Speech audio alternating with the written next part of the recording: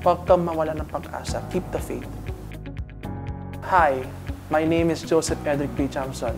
My friends and family call me JB. I am diagnosed with autism.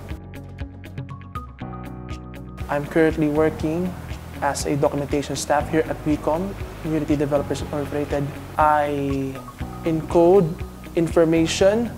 I also gather new sales for, for those who are wa- who want to buy a home.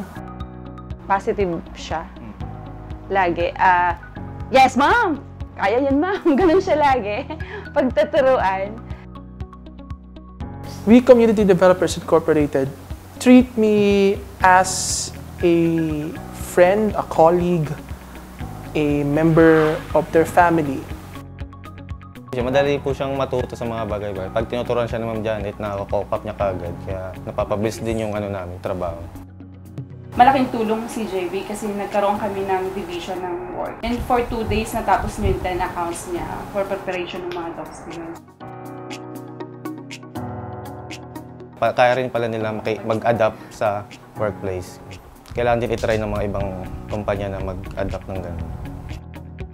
I felt thankful. It really made me a better person and a better worker. In our company, one of our um, core values is uh, the sense of family. Everyone is treated like a family member. Uh, instantly, everyone embraced JB, and then when he started here, the culture changed. He changed the culture actually. He made everyone, the nice people, nicer. He added like a sense of um, appreciation of what you have and uh, what we're doing here as a company. ASP has done lots of good things for me, especially with uh, looking for a job. Everyone has equal opportunities talaga sa workplace or sa surrounding natin.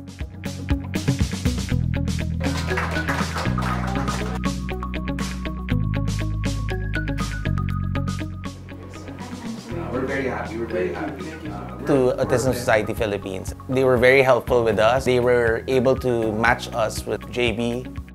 It doesn't have to be an advocacy for us to help people.